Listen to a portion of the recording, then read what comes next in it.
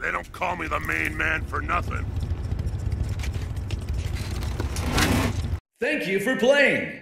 Presented by Noob Review.